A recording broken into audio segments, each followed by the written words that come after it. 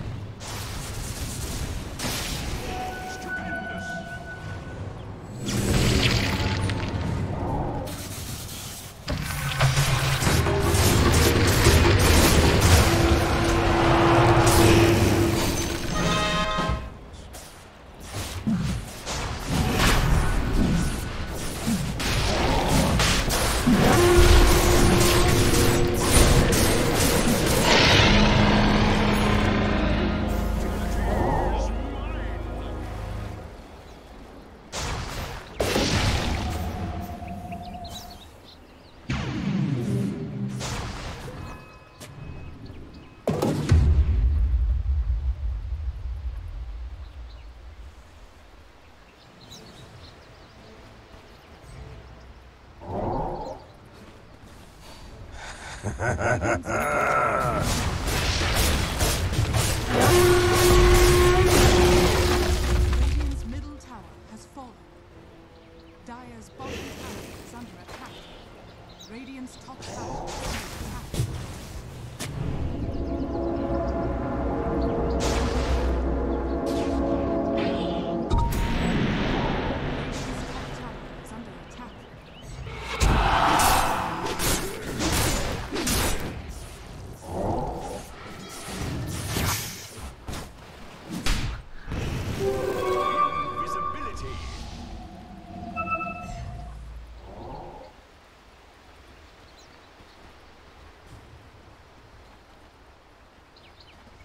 Radiant's bottom tower is under attack.